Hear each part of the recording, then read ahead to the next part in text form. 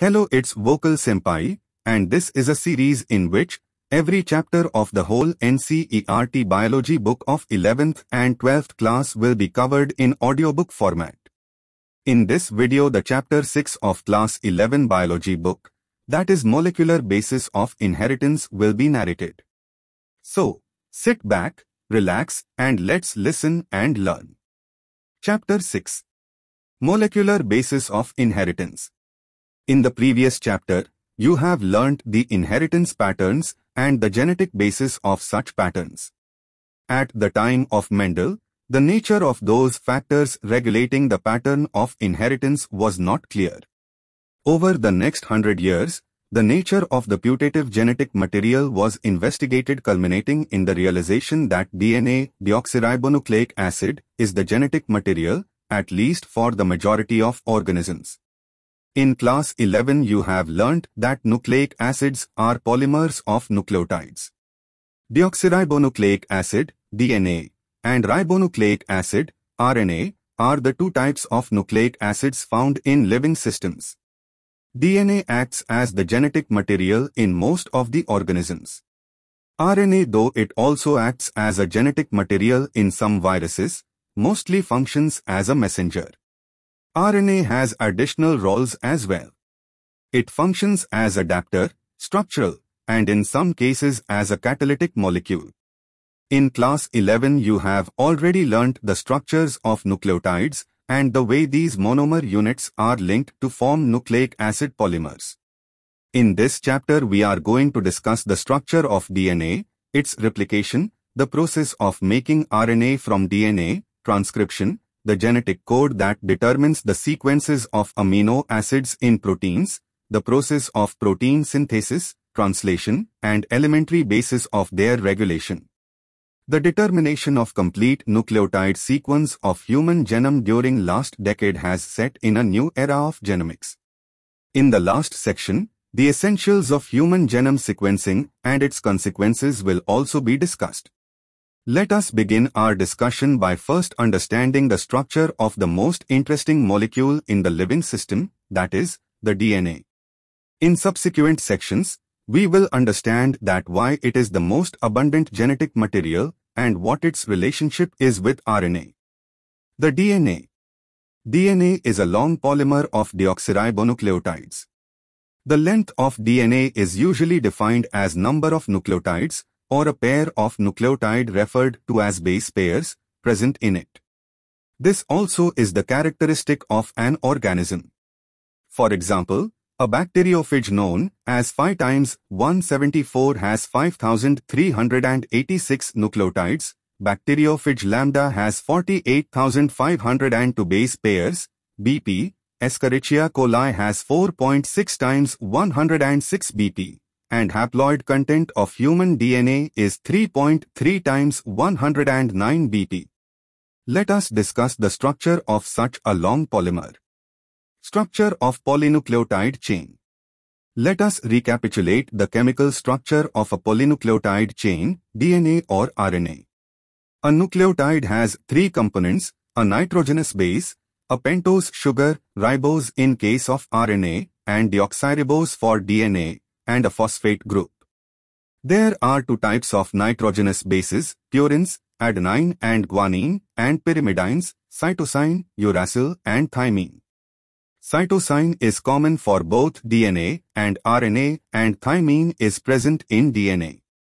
Uracil is present in RNA at the place of thymine. A nitrogenous base is linked to the O of 1C pentose sugar through a glycosidic linkage to form a nucleoside, such as adenosine or deoxyadenosine, guanosine or deoxyguanosine, cytidine or deoxycytidine and uridine or deoxythymidine. When a phosphate group is linked to O of 5C of a nucleoside through phosphoester linkage, a corresponding nucleotide or deoxynucleotide depending upon the type of sugar present is formed. Two nucleotides are linked through 3,5-phosphodiester linkage to form a dinucleotide. More nucleotides can be joined in such a manner to form a polynucleotide chain. A polymer thus formed has at one end a free phosphate moiety at 5 end of sugar, which is referred to as 5-end of polynucleotide chain. Similarly, at the other end of the polymer the sugar has a free O of 3C group which is referred to as 3-end of the polynucleotide chain. The backbone of a polynucleotide chain is formed due to sugar and phosphates. The nitrogenous bases linked to sugar moiety project from the backbone, figure 6.1. In RNA, every nucleotide residue has an additional O group present at 2 position in the ribose. Also, in RNA the uracil is found at the place of thymine, 5-methyl-uracil, another chemical name for thymine. DNA as an acidic substance present in nucleus was first identified by Friedrich Miescher in 1869. He named it as nuclein. However, due to technical limitation in isolating such a long polymer intact, the elucidation of structure of DNA remained elusive for a very long period of time. It was only in 1953 that James Watson and Francis Crick, based on the X-ray diffraction data produced by Maurice Wilkins and Rosalind Franklin, proposed a very simple but famous double helix model for the structure of DNA. One of the hallmarks of their proposition was base pairing between the two strands of polynucleotide chains. However, this proposition was also based on the observation of Erwin Chargaff that for a double-stranded DNA, the ratios between adenine and thymine and guanine and cytosine are constant and equals 1. The base pairing confers a very unique property to the polynucleotide chains. They are said to be complementary to each other, and therefore if the sequence of bases in one strand is known then the sequence in other strand can be predicted. Also, if each strand from a DNA, let us call it as a parental DNA, acts as a template for synthesis of a new strand, the two double-stranded DNA, let us call them as daughter DNA, thus, produced would be identical to the parental DNA molecule. Because of this, the genetic implications of the structure of DNA became very clear. The salient features of the double helix structure of DNA are as follows. I. It is made of two polynucleotide chains, where the backbone is constituted by sugar phosphate and the bases project inside. 2. The two chains have anti-parallel polarity. It means, if one chain has the polarity 5a3, the other has 3a5. 3. The bases in two strands are paired through hydrogen bond, H bonds, forming base pairs, BP. Adenine forms two hydrogen bonds with thymine from opposite strand and vice versa. Similarly, guanine is bonded with cytosine with three H bonds. As a result, always a purine comes opposite to a pyrimidine. This generates approximately uniform distance between the two strands of the helix, figure 6.2. 4. The two chains are coiled in a right-handed fashion. The pitch of the helix is 3.4 nanometers. A nanometer is 1 billionth of a meter, that is 10 to 9 meters, and there are roughly 10 BP in each turn. Consequently, the distance between a BP in a helix is approximately 0.34 nanometer. V. The plane of one base pair stacks over the other in double helix. This, in addition to H bonds, confers stability of the helical structure Figure 6.3. Compare the structure of purines and pyrimidines. Can you find out why the distance between two polynucleotide chains in DNA remains almost constant? The proposition of a double helix structure for DNA and its simplicity in explaining the genetic implication became revolutionary. Very soon, Francis Crick proposed the central dogma in molecular biology, which states that the genetic information flows from the RNA protein. In some viruses the flow of information is in reverse direction, that is, from RNA to DNA. Can you suggest a simple name to the process? Packaging of DNA helix. Taken the distance between two consecutive base pairs as 0.34 nanometer, 0.34 times 10, 9 m if the length of DNA double helix in a typical mammalian cell is calculated simply by multiplying the total number of BP with distance between two consecutive BP, that is 6.6 times 109 BP times 0.34 times 10-9 mbp. It comes out to be approximately 2.2 meters. A length that is far greater than the dimension of a typical nucleus, approximately 10 to 6 m. How is such a long polymer packaged in a cell? If the length of E. coli DNA is 1.36 millimeters, can you calculate the number of base pairs in E. coli? In prokaryotes, such as E. coli, though they do not have a defined nucleus, the DNA is not scattered throughout the cell. DNA, being negatively charged, is held with some proteins that have positive charges in a region termed as nucleoid. The DNA in nucleoid is organized in large loops held by proteins. In eukaryotes, this organization is much more complex. There is a set of positively charged, basic proteins called histones. A protein acquires charge depending upon the abundance of amino acids residues with charged side chains.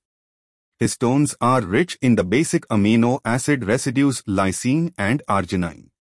Both the amino acid residues carry positive charges in their side chains. Histones are organized to form a unit of eight molecules called histone octamer. The negatively charged DNA is wrapped around the positively charged histone octamer to form a structure called nucleosome, figure 6.4a. A typical nucleosome contains 200 BP of DNA helix. Nucleosomes constitute the repeating unit of a structure in nucleus called chromatin, thread-like stained, colored, bodies seen in nucleus. The nucleosomes in chromatin are seen as beads on string structure when viewed under electron microscope, M, figure 6.4b. Theoretically, how many such beads, nucleosomes, do you imagine are present in a mammalian cell? The beads on string structure in chromatin is packaged to form chromatin fibers that are further coiled and condensed at metaphase stage of cell division to form chromosomes. The packaging of chromatin at higher level requires additional set of proteins that collectively are referred to as non-histone chromosomal NHC proteins. In a typical nucleus, some region of chromatin are loosely packed and stains light and are referred to as euchromatin. The chromatin that is more densely packed and stains dark are called as heterochromatin. Euchromatin is said to be transcriptionally active chromatin whereas heterochromatin is inactive. The search for genetic material. Even though the discovery of nuclein by Miescher and the proposition for principles of inheritance by Mendel were almost at the same time, but that the DNA acts as a genetic material took long to be discovered and proven. By 1926, the quest to determine the mechanism for genetic inheritance had reached the molecular level. Previous discoveries by Gregor Mendel, Walter Sutton, Thomas Hunt Morgan and numerous other scientists had narrowed the search to the chromosomes located in the nucleus of most cells.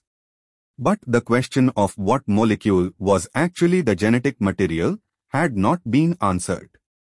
Transforming Principle In 1928, Frederick Griffith, in a series of experiments with Streptococcus pneumoniae, bacterium responsible for pneumonia, witnessed a miraculous transformation in the bacteria. During the course of his experiment, a living organism, bacteria, had changed in physical form. When Streptococcus pneumoniae, pneumococcus, bacteria are grown on a culture plate, some produce smooth shiny colonies, S, while others produce rough colonies, R. This is because the S strain bacteria have a mucus, polysaccharide, coat, while R strain does not. Mice infected with the S strain, virulent, die from pneumonia infection but mice infected with the R strain do not develop pneumonia. Griffith was able to kill bacteria by heating them. He observed that heat-killed S-strain bacteria injected into mice did not kill them. When he injected a mixture of heat-killed S and live R bacteria, the mice died. Moreover, he recovered living S bacteria from the dead mice. He concluded that the R strain bacteria had somehow been transformed by the heat-killed S strain bacteria. Some transforming principle, transferred from the heat-killed S strain, had enabled the R strain to synthesize a smooth polysaccharide coat and become virulent. This must be due to the transfer of the genetic material. However, the biochemical nature of genetic material was not defined from his experiments. Biochemical characterization of transforming principle. Prior to the work of Oswald Avery, Colin MacLeod and Maclyn McCarty, 1933 to 1944, the genetic material was thought to be a protein. They worked to determine the biochemical nature of transforming principle in Griffith's experiment. They purified biochemicals, proteins, DNA, RNA, etc., from the heat-killed S cells to see which ones could transform live R cells into S cells. They discovered that DNA alone from S bacteria caused R bacteria to become transformed. They also discovered that protein-digesting enzymes, proteases, and RNA-digesting enzymes, RNases, did not affect transformation, so the transforming substance was not a protein or RNA. Digestion with DNase did inhibit transformation, suggesting that the DNA caused the transformation. They concluded that DNA is the hereditary material, but not all biologists were convinced. Can you think of any difference between DNAs and DNase? The genetic material is DNA. The unequivocal proof that DNA is the genetic material came from the experiments of Alfred Hershey and Martha Chase, 1952. They worked with viruses that infect bacteria called bacteriophages. The bacteriophage attaches to the bacteria and its genetic material then enters the bacterial cell. The bacterial cell treats the viral genetic material as if it was its own and subsequently manufactures more virus particles. Hershey and Chase worked to discover whether it was protein or DNA from the viruses that entered the bacteria. They grew some viruses on a medium that contained radioactive phosphorus and some others on medium that contained radioactive sulfur. Viruses grown in the presence of radioactive phosphorus contained radioactive DNA but not radioactive protein because DNA contains phosphorus but protein does not. Similarly, viruses grown on radioactive sulfur contained radioactive protein but not radioactive DNA because DNA does not contain sulfur. Radioactive phages were allowed to attach to E. coli bacteria. Then, as the infection proceeded, the viral coats were removed from the bacteria by agitating them in a blender. The virus particles were separated from the bacteria by spinning them in a centrifuge. Bacteria which was infected with viruses that had radioactive DNA were radioactive, indicating that DNA was the material that passed from the virus to the bacteria. Bacteria that were infected with viruses that had radioactive proteins were not radioactive. This indicates that proteins did not enter the bacteria from the viruses. DNA is therefore the genetic material that is passed from virus to bacteria, figure 6.5. Properties of genetic material, DNA versus RNA. From the foregoing discussion, it is clear that the debate between proteins versus DNA as the genetic material was unequivocally resolved from Hershey's experiment it became an established fact that it is DNA that acts as genetic material. However, it subsequently became clear that in some viruses, RNA is the genetic material, for example, tobacco mosaic viruses, QB bacteriophage, etc. Answer to some of the questions such as, why DNA is the predominant genetic material, whereas RNA performs dynamic functions of messenger and adapter has to be found from the differences between chemical structures of the two nucleic acid molecules. Can you recall the two chemical differences between DNA and RNA? A molecule that can act as a genetic material must fulfill the following criteria. I. It should be able to generate its replica, replication. 2. It should be stable chemically and structurally. 3. It should provide the scope for slow changes, mutation, that are required for evolution. 4. It should be able to express itself in the form of Mendelian characters. If one examines each requirement one by one, because of rule of base pairing and complementarity, both the nucleic acids, DNA and RNA, have the ability to direct their duplications. The other molecules in the living system, such as proteins fail to fulfill first criteria itself. The genetic material should be stable enough not to change with different stages of life cycle, age or with change in physiology of the organism. Stability as one of the properties of genetic material was very evident in Griffith's transforming principle itself that heat, which killed the bacteria, at least did not destroy some of the properties of genetic material. This now can easily be explained in light of the DNA that the two strands being complementary if separated by heating come together when appropriate conditions are provided. Further, 2O group present at every nucleotide in RNA is a reactive group and makes RNA labile and easily degradable. RNA is also now known to be catalytic, hence reactive. Therefore, DNA chemically is less reactive and structurally more stable when compared to RNA. Therefore, among the two nucleic acids, the DNA is a better genetic material. In fact, the presence of thymine at the place of uracil also confers additional stability to DNA.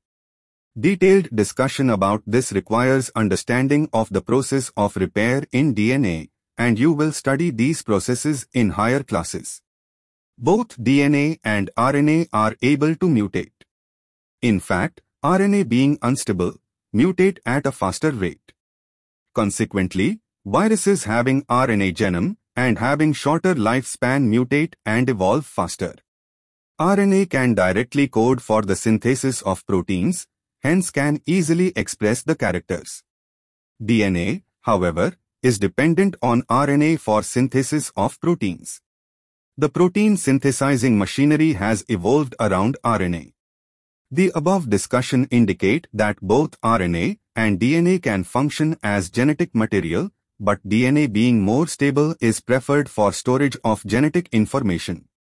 For the transmission of genetic information, RNA is better.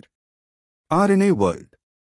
From foregoing discussion, an immediate question becomes evident, which is the first genetic material, it shall be discussed in detail in the chapter on chemical evolution, but briefly, we shall highlight some of the facts and points. RNA was the first genetic material. There is now enough evidence to suggest that essential life processes, such as metabolism, translation, splicing, etc., evolved around RNA. RNA used to act as a genetic material as well as a catalyst, there are some important biochemical reactions in living systems that are catalyzed by RNA catalysts and not by protein enzymes. But RNA being a catalyst was reactive and hence unstable. Therefore, DNA has evolved from RNA with chemical modifications that make it more stable. DNA being double-stranded and having complementary strand further resists changes by evolving a process of repair. Replication While proposing the double helical structure for DNA, Watson and Crick had immediately proposed a scheme for replication of DNA. To quote their original statement that is as follows, it has not escaped our notice that the specific pairing we have postulated immediately suggests a possible copying mechanism for the genetic material, Watson and Crick, 1953. The scheme suggested that the two strands would separate and act as a template for the synthesis of new complementary strands. After the completion of replication, each DNA molecule would have one parental and one newly synthesized strand. This scheme was termed as semi-conservative DNA replication, figure 6.6. The experimental proof. It is now proven that DNA replicates semi-conservatively. It was shown first in Escherichia coli and subsequently in higher organisms, such as plants and human cells. Matthew Meselson and Franklin Stahl performed the following experiment in 1958. I. They grew E. coli in a medium containing 15 NH4Cl. 15N is the heavy isotope of nitrogen as the only nitrogen source for many generations. The result was that 15N was incorporated into newly synthesized DNA, as well as other nitrogen-containing compounds. This heavy DNA molecule could be distinguished from the normal DNA by centrifugation in a cesium chloride, CaCl, density gradient. Please note that 15N is not a radioactive isotope, and it can be separated from 14N only based on densities. 2. Then they transferred the cells into a medium with normal 14NH4Cl and took samples at various definite time intervals as the cells multiplied and extracted the DNA that remained as double-stranded helices. The various samples were separated independently on CaCl gradients to measure the densities of DNA, figure 6.7. Can you recall what centrifugal force is and think why a molecule with higher mass density would sediment faster? 3. Thus, the DNA that was extracted from the culture one generation after the transfer from 15N to 14N medium, that is after 20 minutes, E. coli divides in 20 minutes, had a hybrid or intermediate density. DNA extracted from the culture after another generation, that is after 40 minutes, to generation, was composed of equal amounts of this hybrid DNA and of light DNA. If E. coli was allowed to grow for 80 minutes then what would be the proportions of light and hybrid densities DNA molecule? Very similar experiments involving use of radioactive thymidine to detect distribution of newly synthesized DNA in the chromosomes was performed on Vicia faba, faba beans, by Taylor and colleagues in 1958. The experiments proved that the DNA in chromosomes also replicate semi-conservatively the machinery and the enzymes. In living cells, such as E. coli, the process of replication requires a set of catalysts, enzymes. The main enzyme is referred to as DNA-dependent DNA polymerase, since it uses a DNA template to catalyze the polymerization of deoxynucleotides. These enzymes are highly efficient enzymes as they have to catalyze polymerization of a large number of nucleotides in a very short time. E. coli that has only 4.6 times 106 BP, compare it with human whose diploid content is 6.6 times 109 BP, completes the process of replication within 18 minutes, that means the average rate of polymerization has to be approximately 2000 BP per second. Not only do these polymerases have to be fast, but they also have to catalyze the reaction with high degree of accuracy. Any mistake during replication would result into mutations. Furthermore, energetically replication is a very expensive process. Deoxyribonucleoside triphosphates serve dual purposes. In addition to acting as substrates, they provide energy for polymerization reaction. The two terminal phosphates in a deoxynucleoside triphosphates are high-energy phosphates, same as in case of ATP. In addition to DNA-dependent DNA polymerase, many additional enzymes are required to complete the process of replication with high degree of accuracy. For long DNA molecules, since the two strands of DNA cannot be separated in its entire length, due to very high energy requirement, the replication occur within a small opening of the DNA helix, referred to as replication fork. The DNA-dependent DNA polymerase catalyze polymerization only in one direction, that is 5 This creates some additional complications at the replicating fork. Consequently, on one strand, the template with polarity 3A5, the replication is continuous, while on the other, the template with polarity 5A3, it is discontinuous. The discontinuously synthesized fragments are later joined by the enzyme DNA ligase, figure 6.8. The DNA polymerase on their own cannot initiate the process of replication. Also the replication does not initiate randomly at any place in DNA. There is a definite region in E. coli DNA where the replication originates. Such regions are termed as origin of replication. It is because of the requirement of the origin of replication that a piece of DNA if needed to be propagated during recombinant DNA procedures requires a vector. The vectors provide the origin of replication. Further, not every detail of replication is understood well. In eukaryotes, the replication of DNA takes place at S phase of the cell cycle. The replication of DNA and cell division cycle should be highly coordinated. A failure in cell division after DNA replication results into polyploidy, a chromosomal anomaly. You will learn the detailed nature of origin and the processes occurring at this site in higher classes. Transcription The process of copying genetic information from one strand of the DNA into RNA is termed as transcription. Here also, the principle of complementarity governs the process of transcription, except the adenosine complements now forms base pair with uracil instead of thymine. However, unlike in the process of replication, which once set in, the total DNA of an organism gets duplicated, in transcription only a segment of DNA and only one of the strands is copied into RNA.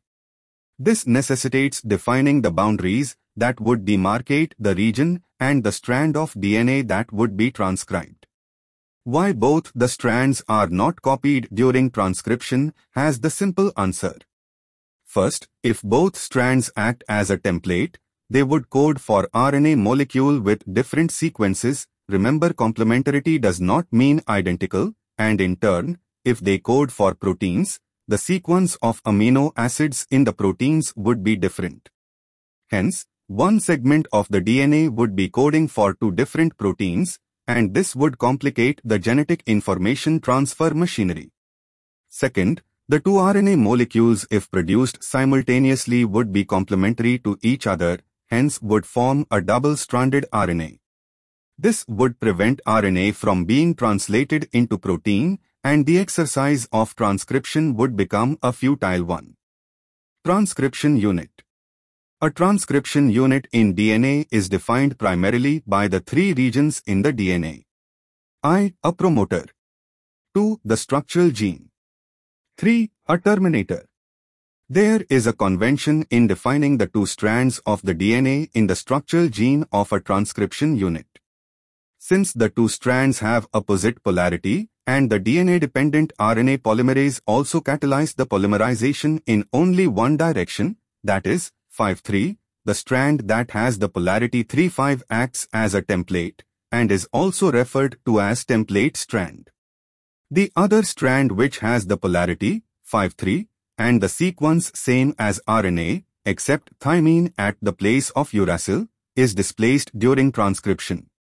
Strangely, this strand, which does not code for anything, is referred to as coding strand. All the reference point while defining a transcription unit is made with coding strand. To explain the point, a hypothetical sequence from a transcription unit is represented below. The promoter and terminator flank the structural gene in a transcription unit. The promoter is said to be located towards 5 end, upstream, of the structural gene. The reference is made with respect to the polarity of coding strand.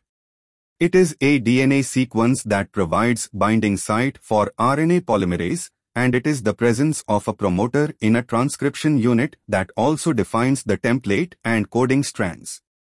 By switching its position with terminator, the definition of coding and template strands could be reversed. The terminator is located towards 3 end downstream of the coding strand and it usually defines the end of the process of transcription Figure 6.9. There are additional regulatory sequences that may be present further upstream or downstream to the promoter. Some of the properties of these sequences shall be discussed while dealing with regulation of gene expression. Transcription unit and the gene. A gene is defined as the functional unit of inheritance. Though there is no ambiguity that the genes are located on the DNA, it is difficult to literally define a gene in terms of DNA sequence. The DNA sequence coding for tRNA or rRNA molecule also define a gene. However, by defining a cistron as a segment of DNA coding for a polypeptide, the structural gene in a transcription unit could be said as monocistronic, mostly in eukaryotes, or polycistronic, mostly in bacteria or prokaryotes. In eukaryotes, The monocistronic structural genes have interrupted coding sequences, the genes in eukaryotes are split. The coding sequences or expressed sequences are defined as exons. Exons are said to be those sequences that appear in mature or processed RNA. The exons are interrupted by introns. Introns or intervening sequences do not appear in mature or processed RNA. The split gene arrangement further complicates the definition of a gene in terms of a DNA segment. Inheritance of a character is also affected by promoter and regulatory sequences of a structural gene. Hence, sometimes the regulatory sequences are loosely defined as regulatory genes even though these sequences do not code for any RNA or protein. Types of RNA and the process of transcription. In bacteria, there are three major types of RNAs, mRNA, messenger RNA, tRNA, transfer RNA, and rRNA, ribosomal RNA. All three RNAs are needed to synthesize a protein in a cell. The mRNA provides the template, tRNA brings amino acids and reads the genetic code, and RNAs play structural and catalytic role during translation. There is single DNA-dependent RNA polymerase that catalyzes transcription of all types of RNA in bacteria. RNA polymerase binds to promoter and initiates transcription initiation. It uses nucleoside triphosphates as substrate and polymerizes in a template-dependent fashion following the rule of complementarity. It somehow also facilitates opening of the helix and continues elongation. Only a short stretch of RNA remains bound to the enzyme. Once the polymerase reaches the terminator region, the nascent RNA falls off, so also the RNA polymerase. This results in termination of transcription. An intriguing question is that how is the RNA polymerase able to catalyze all the three steps, which are initiation, elongation and termination. The RNA polymerase is only capable of catalyzing the process of elongation. It associates transiently with initiation factor, sigma, and termination factor, rho, to initiate and terminate the transcription, respectively. Association with these factors alter the specificity of the RNA polymerase to either initiate or terminate, figure 6.10. In bacteria, since the mRNA does not require any processing to become active, and also since transcription and translation take place in the same compartment, there is no separation of cytosol and nucleus in bacteria. Many times the translation can begin much before the mRNA is fully transcribed. Consequently, the transcription and translation can be coupled in bacteria. In eukaryotes, there are two additional complexities. I, there are at least three RNA polymerases in the nucleus, in addition to the RNA polymerase found in the organelles. There is a clear-cut division of labor. The RNA polymerase I transcribes RNAs, 28S, 18S and 5.8S, whereas the RNA polymerase 3 is responsible for transcription of tRNA, 5srRNA, and SNRNAs, small nuclear RNAs. The RNA polymerase to transcribes precursor of mRNA, the heterogeneous nuclear RNA, hnRNA. 2. The second complexity is that the primary transcripts contain both the exons and the introns and are non-functional. Hence, it is subjected to a process called splicing where the introns are removed and exons are joined in a defined order. hnRNA undergoes additional processing called as capping and tailing. In capping an unusual nucleotide, methylguanosine triphosphate is added to the 5' end of hnRNA. In tailing, adenylate residues, 200 to 300, are added at 3' end in a template-independent manner. It is the fully processed hnRNA, now called mRNA, that is transported out of the nucleus for translation, figure 6.11. The significance of such complexities is now beginning to be understood. The split gene arrangements represent probably an ancient feature of the genome. The presence of introns is reminiscent of antiquity, and the process of splicing represents the dominance of RNA world. In recent times, the understanding of RNA and RNA-dependent processes in the living system have assumed more importance. Genetic code During replication and transcription a nucleic acid was copied to form another nucleic acid. Hence, these processes are easy to conceptualize on the basis of complementarity. The process of translation requires transfer of genetic information from a polymer of nucleotides to synthesize a polymer of amino acids. Neither does any complementarity exist between nucleotides and amino acids, nor could any be drawn theoretically. There existed ample evidences, though, to support the notion that change in nucleic acids, genetic material, were responsible for change in amino acids in proteins. This led to the proposition of a genetic code that could direct the sequence of amino acids during synthesis of proteins. If determining the biochemical nature of genetic material and the structure of DNA was very exciting, the proposition and deciphering of genetic code were most challenging. In a very true sense, it required involvement of scientists from several disciplines, physicists, organic chemists, biochemists and geneticists. It was George Gamow, a physicist, who argued that since there are only four bases and if they have to code for 20 amino acids, the code should constitute a combination of bases. He suggested that in order to code for all the 20 amino acids, the code should be made up of three nucleotides. This was a very bold proposition because a permutation combination of 43, 4 times 4 times 4 would generate 64 codons, generating many more codons than required. Providing proof that the codon was a triplet was a more daunting task. The chemical method developed by Hargobind Khorana was instrumental in synthesizing RNA molecules with defined combinations of bases, homopolymers and copolymers. Marshall Nirenberg's cell-free system for protein synthesis finally helped the code to be deciphered. Severo Ochoa enzyme, polynucleotide phosphorylase, was also helpful in polymerizing RNA with defined sequences in a template-independent manner, enzymatic synthesis of RNA. Finally, a checkerboard for genetic code was prepared, which is given in Table 6.1. The salient features of genetic code are as follows. I, the codon is triplet. 61 codons code for amino acids, and 3 codons do not code for any amino acids, hence they function as stop codons. 2. Some amino acids are coded by more than one codon, hence the code is degenerate. 3. The codon is read in mRNA in a contiguous fashion. There are no punctuations. 4. The code is nearly universal, for example, from bacteria to human UUU would code for phenylalanine, Phe.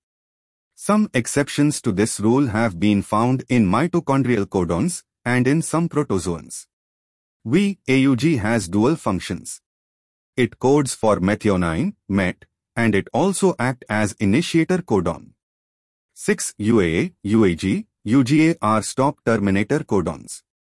If following is the sequence of nucleotides in mRNA, predict the sequence of amino acid coded by it, take help of the checkerboard.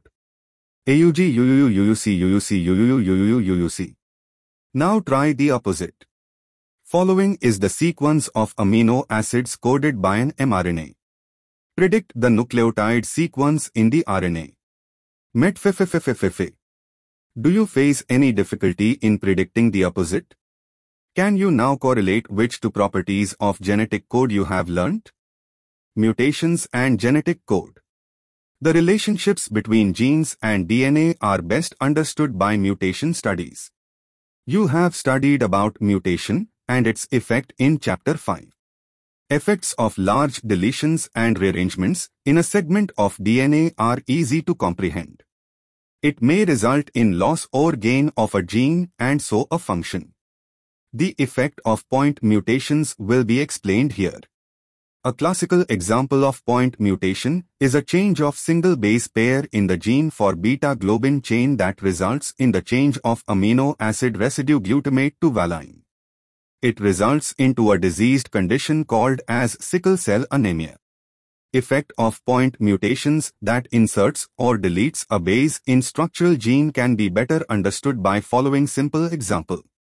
Consider a statement that is made up of the following words, each having three letters like genetic code. Ram has red cap. If we insert a letter B in between has and red and rearrange the statement, it would read as follows. Ram has BRI DCAP. Similarly, if we now insert two letters at the same place, say by. Now it would read. Ram has BIR EDCAP. Now we insert three letters together, say big, the statement would read. Ram has big red cap. The same exercise can be repeated by deleting the letters R, E and D one by one and rearranging the statement to make a triplet word. Ram has EDCAP. Ram has DCAP. Ram has cap. The conclusion from the above exercise is very obvious. Insertion or deletion of one or two bases changes the reading frame from the point of insertion or deletion. However, such mutations are referred to as frameshift insertion or deletion mutations. Insertion or deletion of three or its multiple bases insert or delete in one or multiple codon hence one or multiple amino acids and reading frame remains unaltered from that point onwards. tRNA, the adapter molecule, from the very beginning of the proposition of code, it was clear to Francis Crick that there has to be a mechanism to read the code and also to link it to the amino acids, because amino acids have no structural specialities to read the code uniquely. He postulated the presence of an adapter molecule that would on one hand read the code and on other hand would bind to specific amino acids. The tRNA, then called sRNA, soluble RNA, was known before the genetic code was postulated. However, its role as an adapter molecule was assigned much later. tRNA has an anticodon loop that has bases complementary to the code, and it also has an amino acid acceptor end to which it binds to amino acids.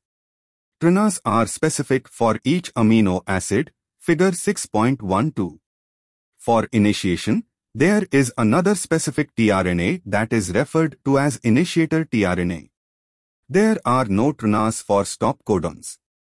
In figure 6.12, the secondary structure of tRNA has been depicted that looks like a cloverleaf. In actual structure, the tRNA is a compact molecule which looks like inverted L. Translation Translation refers to the process of polymerization of amino acids to form a polypeptide, figure 6.13. The order and sequence of amino acids are defined by the sequence of bases in the mRNA. The amino acids are joined by a bond which is known as a peptide bond. Formation of a peptide bond requires energy.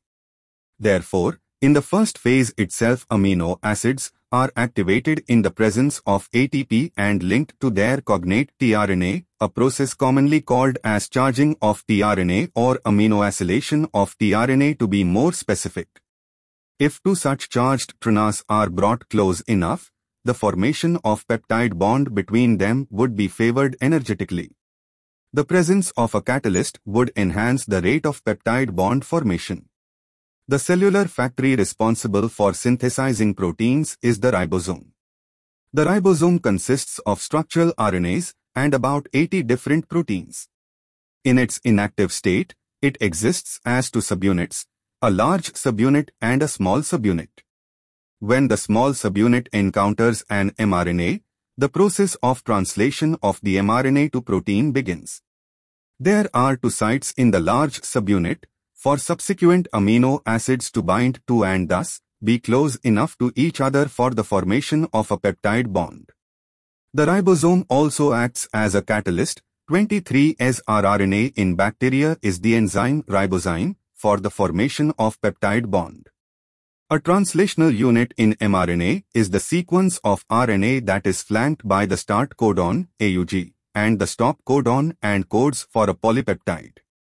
An mRNA also has some additional sequences that are not translated and are referred as untranslated regions, UTR. The UTRs are present at both 5 end, before start codon, and at 3 end, after stop codon. They are required for efficient translation process. For initiation, the ribosome binds to the mRNA at the start codon, AUG, that is recognized only by the initiator tRNA. The ribosome proceeds to the elongation phase of protein synthesis. During this stage, complexes composed of an amino acid linked to tRNA sequentially bind to the appropriate codon in mRNA by forming complementary base pairs with the tRNA anticodon. The ribosome moves from codon to codon along the mRNA. Amino acids are added one by one, translated into polypeptide sequences dictated by DNA and represented by mRNA. At the end, a release factor binds to the stop codon, terminating translation and releasing the complete polypeptide from the ribosome.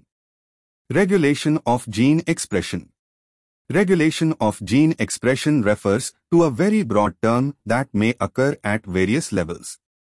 Considering that gene expression results in the formation of a polypeptide, it can be regulated at several levels. In eukaryotes, the regulation could be exerted at I. Transcriptional level formation of primary transcript. 2. Processing level, regulation of splicing. 3. Transport of mRNA from nucleus to the cytoplasm. 4. Translational level. The genes in a cell are expressed to perform a particular function or a set of functions. For example, if an enzyme called beta-galactosidase is synthesized by E. coli, it is used to catalyze the hydrolysis of a disaccharide, lactose into galactose and glucose, the bacteria use them as a source of energy. Hence, if the bacteria do not have lactose around them to be utilized for energy source, they would no longer require the synthesis of the enzyme beta-galactosidase. Therefore, in simple terms, it is the metabolic, physiological or environmental conditions that regulate the expression of genes. The development and differentiation of embryo into adult organisms are also a result of the coordinated regulation of expression of several sets of genes. In prokaryotes, control of the rate of transcriptional initiation is the predominant site for control of gene expression. In a transcription unit, the activity of RNA polymerase at a given promoter is in turn regulated by interaction with accessory proteins, which affect its ability to recognize start sites. These regulatory proteins can act both positively, activators, and negatively, repressors. The accessibility of promoter regions of prokaryotic DNA is in many cases regulated by the interaction of proteins with sequences termed operators. The operator region is adjacent to the promoter elements in most operons and in most cases the sequences of the operator bind a repressor protein. Each operon has its specific operator and specific repressor. For example, LAC operator is present only in the LAC operon and it interacts specifically with LAC repressor only.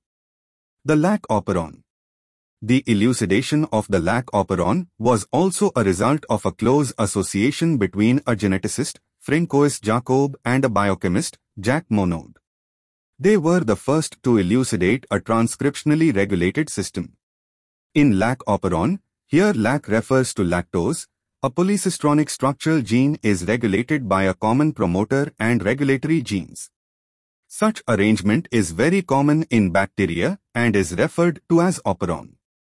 To name few such examples, LAC operon, TRP operon, ARA operon, HIS operon, VAL operon, etc. The LAC operon consists of one regulatory gene, the I gene, here the term I does not refer to inducer, rather it is derived from the word inhibitor, and three structural genes, Z, Y, and A. The I gene codes for the repressor of the LAC operon.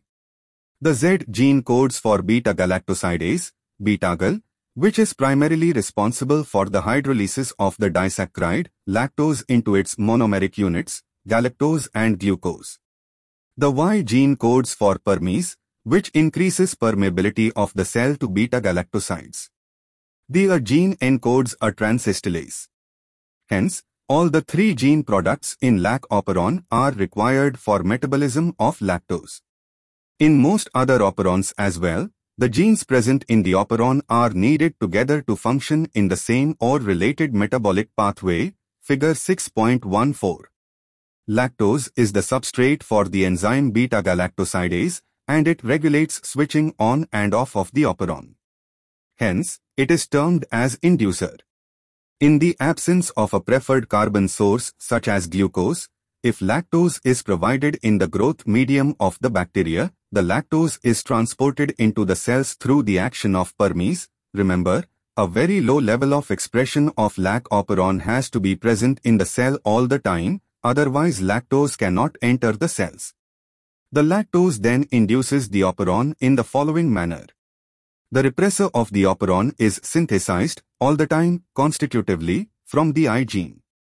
The repressor protein binds to the operator region of the operon and prevents RNA polymerase from transcribing the operon. In the presence of an inducer, such as lactose or allolactose, the repressor is inactivated by interaction with the inducer.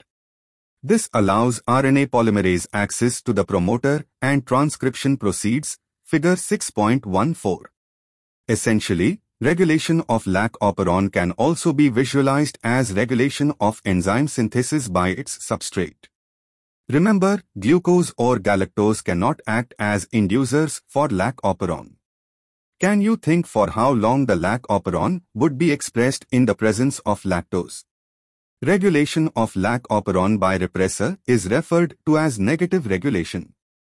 Lac operon is under control of positive regulation as well, but it is beyond the scope of discussion at this level.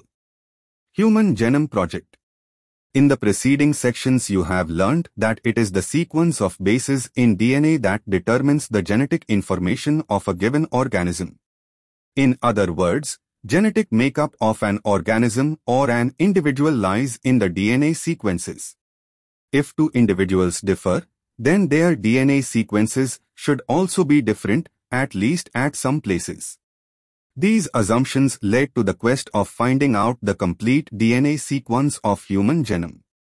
With the establishment of genetic engineering techniques where it was possible to isolate and clone any piece of DNA and availability of simple and fast techniques for determining DNA sequences, a very ambitious project of sequencing human genome was launched in the year 1990. Human Genome Project, HGP, was called a mega project. You can imagine the magnitude and the requirements for the project if we simply define the aims of the project as follows. Human genome is said to have approximately 3x 109 BP, and if the cost of sequencing required is US $3 per BP, the estimated cost in the beginning, the total estimated cost of the project would be approximately 9 billion US dollars. Further, if the obtained sequences were to be stored in typed form in books, and if each page of the book contained 1000 letters and each book contained 1000 pages, then 3300 such books would be required to store the information of DNA sequence from a single human cell. The enormous amount of data expected to be generated also necessitated the use of high-speed computational devices for data storage and retrieval, and analysis. HGP was closely associated with the rapid development of a new area in biology called bioinformatics. Goals of HGP Some of the important goals of HGP were as follows. I. Identify all the approximately 20,000 to 25,000 genes in human DNA. 2. Determine the sequences of the 3 billion chemical base pairs that make up human DNA.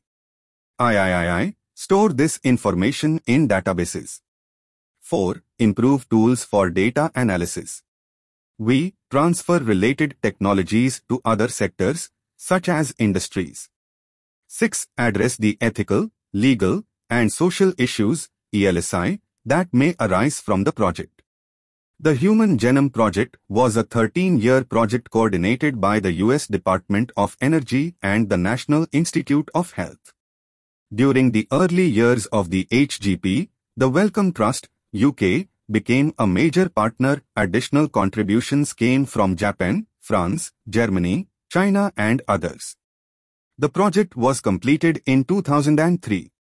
Knowledge about the effects of DNA variations among individuals can lead to revolutionary new ways to diagnose, treat and someday prevent the thousands of disorders that affect human beings. Besides providing clues to understanding human biology, learning about non-human organisms' DNA sequences can lead to an understanding of their natural capabilities that can be applied toward solving challenges in healthcare, agriculture, energy production, environmental remediation. Many non-human model organisms, such as bacteria, yeast, Caenorhabditis elegans, a free-living non-pathogenic nematode, Drosophila, the fruit fly, plants, rice and Arabidopsis, etc., have also been sequenced. Methodologies The methods involved two major approaches. One approach focused on identifying all the genes that are expressed as RNA, referred to as expressed sequence tags, ESTs. The other took the blind approach of simply sequencing the whole set of genome that contained all the coding and non-coding sequence and later assigning different regions in the sequence with functions, a term referred to as sequence annotation. For sequencing, the total DNA from a cell is isolated and converted into random fragments of relatively smaller sizes. Recall DNA is a very long polymer and there are technical limitations in sequencing very long pieces of DNA and cloned in suitable host using specialized vectors. The cloning resulted into amplification of each piece of DNA fragment so that it subsequently could be sequenced with ease. The commonly used hosts were bacteria and yeast, and the vectors were called as BAC, bacterial artificial chromosomes, and YAC, yeast artificial chromosomes. The fragments were sequenced using automated DNA sequencers that worked on the principle of a method developed by Frederick Sanger. Remember, Sanger is also credited for developing method for determination of amino acid sequences in proteins. These sequences were then arranged based on some overlapping regions present in them. This required generation of overlapping fragments for sequencing. Alignment of these sequences was humanly not possible. Therefore, specialized computer-based programs were developed, figure 6.15. These sequences were subsequently annotated and were assigned to each chromosome. The sequence of chromosome 1 was completed only in May 2006. This was the last of the 24 human chromosomes, 22 autosomes and X and Y, to be sequenced. Another challenging task was assigning the genetic and physical maps on the genome. This was generated using information on polymorphism of restriction endonuclease recognition sites and some repetitive DNA sequences known as microsatellites. One of the applications of polymorphism in repetitive DNA sequences shall be explained in next section of DNA fingerprinting. Salient features of human genome some of the salient observations drawn from Human Genome Project are as follows. I. The human genome contains 3164.7 million BP. 2. The average gene consists of 3000 bases, but sizes vary greatly, with the largest known human gene being dystrophin at 2.4 million bases. 3. The total number of genes is estimated at 30, 000, much lower than previous estimates of 80,000 to 1,40,000 genes.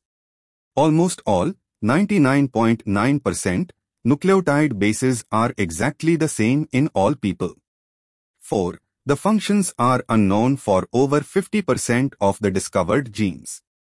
We, less than 2% of the genome codes for proteins. 6. Repeated sequences make up very large portion of the human genome. 7. Repetitive sequences are stretches of DNA sequences that are repeated many times, sometimes 100 to 1000 times. They are thought to have no direct coding functions, but they shed light on chromosome structure, dynamics and evolution. 8. Chromosome 1 has most genes, 2968, and the Y has the fewest, 231. 9. Scientists have identified about 1.4 million locations where single-base DNA differences, SNPs, single nucleotide polymorphism, pronounced as snips, occur in humans. This information promises to revolutionize the processes of finding chromosomal locations for disease-associated sequences and tracing human history. Applications and future challenges. Deriving meaningful knowledge from the DNA sequences will define research through the coming decades leading to our understanding of biological systems. This enormous task will require the expertise and creativity of tens of thousands of scientists from varied disciplines in both the public and private sectors worldwide. One of the greatest impacts of having the HG sequence may well be enabling a radically new approach to biological research. In the past, researchers studied one or a few genes at a time. With whole genome sequences and new high-throughput technologies, we can approach questions systematically and on a much broader scale. They can study all the genes in a genome, for example, all the transcripts in a particular tissue or organ or tumor, or how tens of thousands of genes and proteins work together in interconnected networks to orchestrate the chemistry of life. DNA fingerprinting. As stated in the preceding section, 99.9% of base sequence among humans is the same. Assuming human genome as 3 times 109 BP, in how many base sequences would there be differences? It is these differences in sequence of DNA which make every individual unique in their phenotypic appearance. If one aims to find out genetic differences between two individuals or among individuals of a population, sequencing the DNA every time would be a daunting and expensive task. Imagine trying to compare two sets of 3 times 106 base pairs. DNA fingerprinting is a very quick way to compare the DNA sequences of any two individuals. DNA fingerprinting involves identifying differences in some specific regions in DNA sequence called as repetitive DNA, because in these sequences, a small stretch of DNA is repeated many times. These repetitive DNA are separated from bulk genomic DNA as different peaks during density gradient centrifugation. The bulk DNA forms a major peak, and the other small peaks are referred to as satellite DNA. Depending on base composition, A, T-rich or G, C-rich, length of segment, and number of repetitive units, the satellite DNA is classified into many categories, such as microsatellites, mini-satellites, etc. These sequences normally do not code for any proteins, but they form a large portion of human genome. These sequences show high degree of polymorphism and form the basis of DNA fingerprinting. Since DNA from every tissue, such as blood, hair follicle, skin, bone, saliva, sperm, etc., from an individual show the same degree of polymorphism, they become very useful identification tool in forensic applications. Further, as the polymorphisms are inheritable from parents to children, DNA fingerprinting is the basis of paternity testing in case of disputes. As polymorphism in DNA sequence is the basis of genetic mapping of human genome as well as of DNA fingerprinting, it is essential that we understand what DNA polymorphism means in simple terms. Polymorphism variation at genetic level arises due to mutations. Recall different kind of mutations and their effects that you have already studied in chapter 5 and in the preceding sections in this chapter. New mutations may arise in an individual either in somatic cells or in the germ cells, cells that generate gametes in sexually reproducing organisms. If a germ cell mutation does not seriously impair individual's ability to have offspring who can transmit the mutation, it can spread to the other members of population through sexual reproduction. Allelic, again recall the definition of alleles from chapter 5, Sequence variation has traditionally been described as a DNA polymorphism if more than one variant, allele, at a locus occurs in human population with a frequency greater than 0.01. In simple terms, If an inheritable mutation is observed in a population at high frequency, it is referred to as DNA polymorphism. The probability of such variation to be observed in non-coding DNA sequence would be higher as mutations in these sequences may not have any immediate effect impact in an individual's reproductive ability. These mutations keep on accumulating generation after generation and form one of the bases of variability polymorphism. There is a variety of different types of polymorphisms ranging from single nucleotide change to very large-scale changes. For evolution and speciation, such polymorphisms play very important role, and you will study these in details at higher classes. The technique of DNA fingerprinting was initially developed by Alec Jeffreys.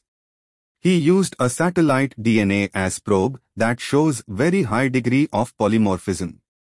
It was called as variable number of tandem repeats, VNTR. The technique, as used earlier, involved southern blot hybridization using radiolabeled VNTR as a probe. It included I. Isolation of DNA 2. Digestion of DNA by restriction endonucleases 3. Separation of DNA fragments by electrophoresis 4. Transferring, blotting, of separated DNA fragments to synthetic membranes, such as nitrocellulose or nylon. V. Hybridization using labeled VNTR probe and 6. Detection of hybridized DNA fragments by autoradiography. A schematic representation of DNA fingerprinting is shown in Figure 6.16. The VNTR belongs to a class of satellite DNA referred to as mini-satellite.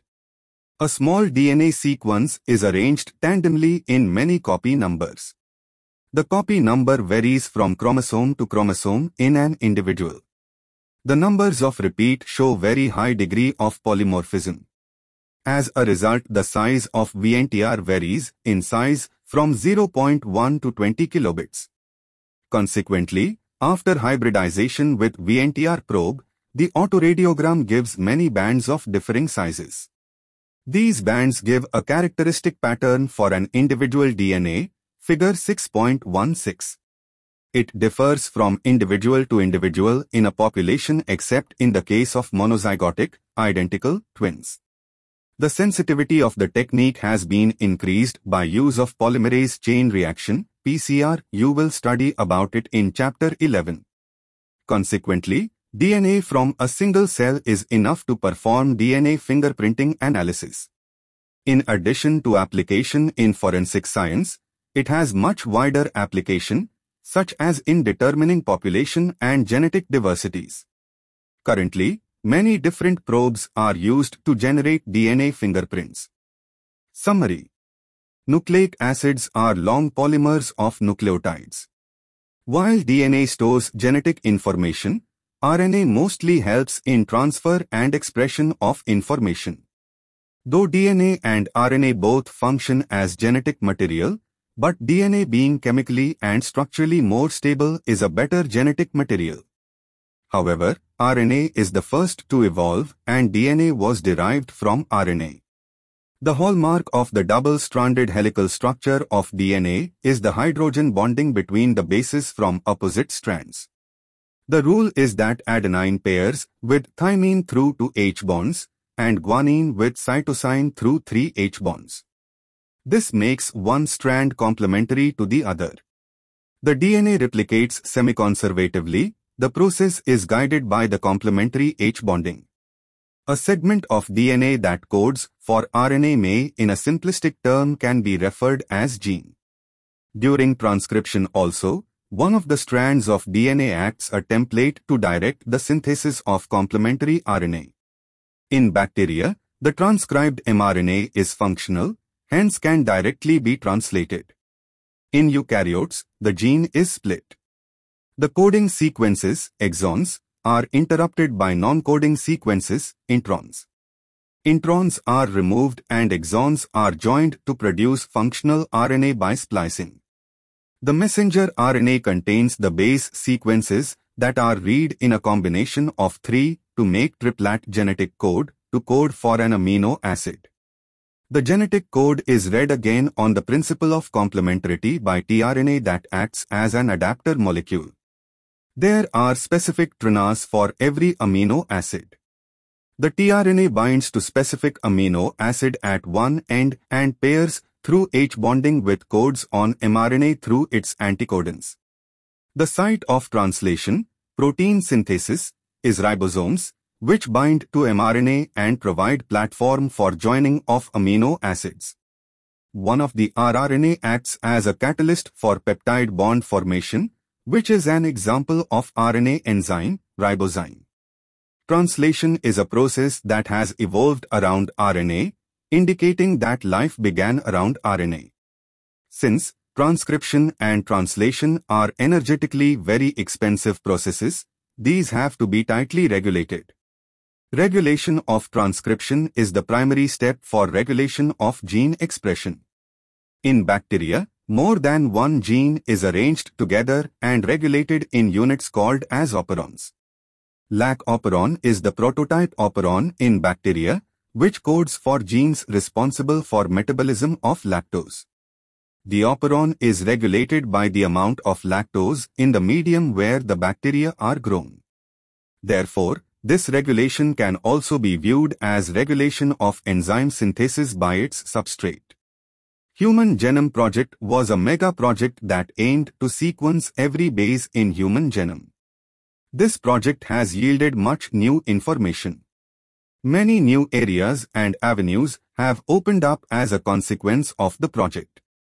DNA fingerprinting is a technique to find out variations in individuals of a population at DNA level. It works on the principle of polymorphism in DNA sequences. It has immense applications in the field of forensic science, genetic biodiversity and evolutionary biology. Thank you for tuning in. Give this video a thumbs up if it was helpful and subscribe for the upcoming videos. Check out more videos from the playlist. Also comment down if you have some queries or suggestion.